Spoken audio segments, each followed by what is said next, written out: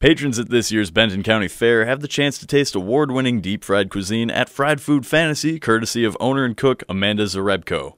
The, the trophy is from the show, uh, the Deep Fried Masters, and it was the Minnesota State Fair edition of the show. And I went up against some guys that have been at the state fair for 15, 20 years. Um, amazing cooks, and they have some original ideas too.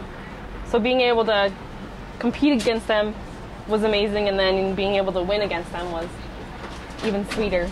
After round one, I won with my deep fried banana split. Round two, I won with the cheesecake, and I knew if I made it into round three that I could win that because we were debuting the Dynamite Dog there. The Dynamite Dog is by far our favorite creation. We take a hot dog, jalapenos, and cream cheese, wrap them in an egg roll wrapper, deep fry them, and then wrap them in red foil with a frill pick in the end so it looks like a lit stick of dynamite. We have sold out of Dynamite Dogs pretty much three nights in a row now. Between Wednesday, Thursday, Friday, we've hit the 500 mark. So even with me feverishly prepping tons of them, so I'd, I'd say that's a pretty good start.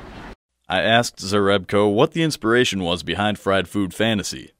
We were actually at a fair down in Iowa, and we fell in love with the deep fried pickles. So we decided, hey, maybe that's something we can do. And then we turned on the deep fryer at home, started experimenting with things, and three years later, here we are. The best part is when somebody comes back and says that I cooked a good dish.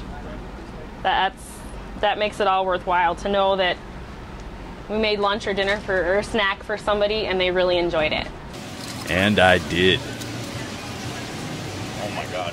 Fried Food Fantasy is open from noon to midnight tonight and on Sunday from noon to 8 o'clock.